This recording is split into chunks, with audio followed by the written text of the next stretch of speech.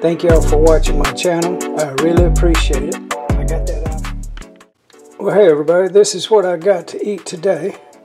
I got a piece of salmon. Look at that. Ain't that pretty? And I got green fried tomatoes. And fried in just a very little flour and very little coconut oil. And the time is 4.32 and today is Sunday, the 27th, and the year is 2024. Thank y'all for watching my channel. I really appreciate it.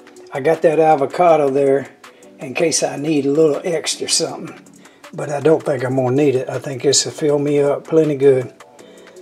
All right. Talk to you later. Thank you for watching my channel.